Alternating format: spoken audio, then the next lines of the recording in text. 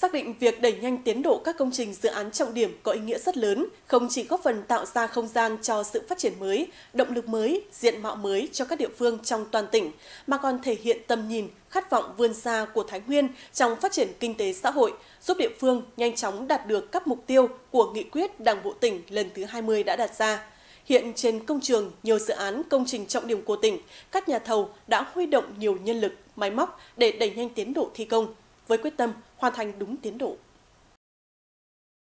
Một khối lượng lớn máy móc được tập kết để tiến hành triển khai thi công thảm mặt đường bê tông nhựa trên dự án tuyến đường liên kết kết nối các tỉnh Thái Nguyên, Bắc Giang và Vĩnh Phúc.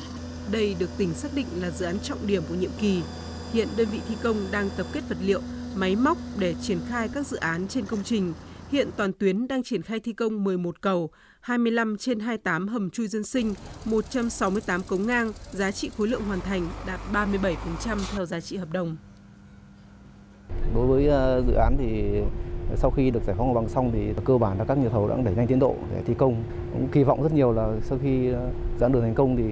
ờ, nhân dân của thị trấn Quân Chu cũng như là người dân của tổ một chúng tôi sẽ được thuận lợi nhất mà có thể sự phát triển là về kinh tế được À, tốt hơn tốt nhất.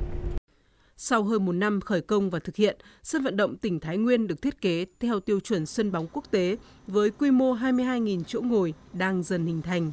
Dự án sân vận động tỉnh Thái Nguyên có tổng mức đầu tư 536 tỷ đồng với diện tích 15 ha. Các hạng mục công trình khán đài của dự án thi công đường bít bao quanh trên diện tích đất 15,47 ha đang được khẩn trương thi công. Ngoài ra các hạng mục bên trong sân bóng, hạ tầng kỹ thuật và công trình phụ trợ cũng được cấp rút triển khai đây là một trong những công trình dự kiến hoàn thành sớm so với tiến độ đề ra.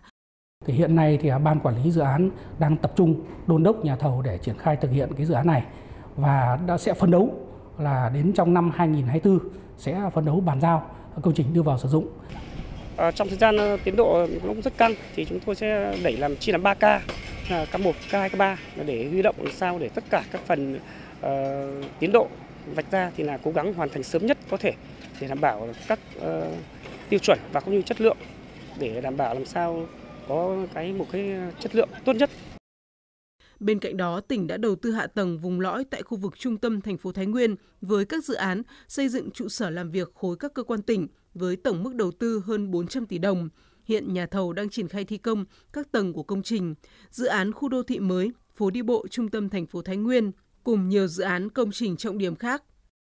À, trong năm 2024 thì à, ban cũng được giao và à, dự kiến khởi công khoảng 15 dự án.